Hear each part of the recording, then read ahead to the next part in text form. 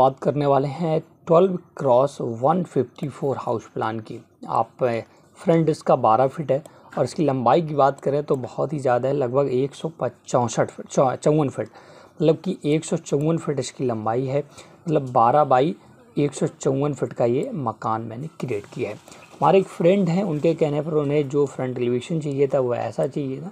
उनकी लंबाई काफ़ी ज़्यादा है, पीछे लगभग साढ़े नौ फिट लंबाई हो जाती है, आगे बारह फिट है। मतलब थोड़ा सा ये, अगर हम प्लॉट की बात करें तो आपका कैच है मतलब तिरछा बना हुआ है। क्योंकि पीछे वाली वॉल देखिए, आपको अगर देखने में समझ में आ रहा होगा तो यहाँ तक तो सीधा गया, इसके बाद हल्का सा आपका टिपर हो जाता है कैच हो जाता है। तो ये पूरा जो प्लान है, बारह बाई एक सौ चौवन के शेयर हम डिस्कस करेंगे। पूरा प्रॉपर तरीके से इसका थ्री डी व्यू क्या है टू डी व्यू क्या, वगैरह सब कुछ दिखाने वाले हैं। फ्रंट एलिवेशन आपने देख लिया बेस्ट आपको देखने को मिलता है। तो पूरा डिटेल जानने के लिए आप बने रहे वीडियो में और अगर आपने अभी तक स्मॉल हाउस प्लान चैनल को सब्सक्राइब नहीं किया है तो ज़रूर कर लें साथ साथ बेलाइकन ज़रूर दबा दें, इससे मेरे आने वाले सभी वीडियो लगातार देख सकें।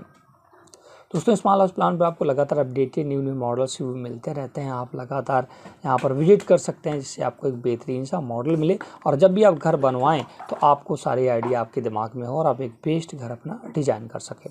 तो आज का जो मॉडल है, बारह बाई एक सौ चौवन फिट ऐसे डिस्कस करते हैं। तो फ्रंट एलिवेशन की बात करें तो आपको बेस्ट देखने को मिलता है। और मैं अब एक बात और बता दूँ, जब भी फ्रंट एलिवेशन क्रिएट किया जाता है तो ये बाद में क्रिएट होता है मकान का स्ट्रक्चर पहले खड़, खड़ा किया जाता है स्ट्रक्चर खड़ा करने के बाद फ्रंट एलिवेशन जो भी आप ये देखिए वुडन टेक्सचर देख रहे हैं, लकड़ी का टेक्सचर वगैरह, ये सब बाद में फिनिशिंग किया जाता है, वो ऑटोमेटिक आपका फ्रंट का बना दिया जाता है।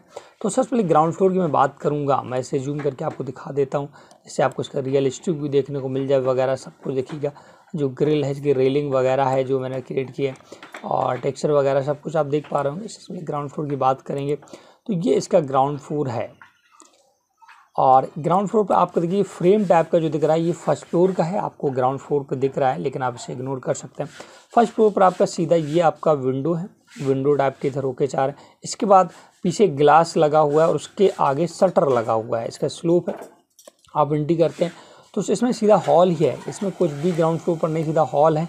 आप सीधा चले जाइए, लगभग एक चौवन फीट पे ये आपको स्टेयर्स बनी है। सीढ़ियाँ बनी हुई जो कि यहाँ से चढ़ना स्टार्ट करेंगे चलते चलते टर्न होकर फिर वापस आ जाएँगे। और सीधा हॉल चला गया और सबसे पीछे जब आप जाते हैं तो लगभग दो से ढाई फीट का वेंटिलेशन के लिए जगह यहाँ पर छूटा हुआ है, ये देखिएगा। क्योंकि प्लान काफ़ी लंबा है, इसलिए स्क्रीन में पूरा प्रॉपर तरीके से नहीं दिख पा रहा है। जूम करके मैं अगर दिखाना चाहूँ तो प्रॉपर नहीं दिख रहा है। तो ये देखिए दो फुट का जगह इसका एक बेडरूम है। इसके बाद आपका let and bath, kitchen, sorry, यहाँ पर बाथरूम और लेट एंड बाथ। इसका ये वेंटिलेशन के लिए जाल रखने के लिए ये यहाँ पर एक स्पेस छोड़ा गया। बाद बाकी पूरा हॉल टाइप का आपका ग्राउंड फ्लोर बना है।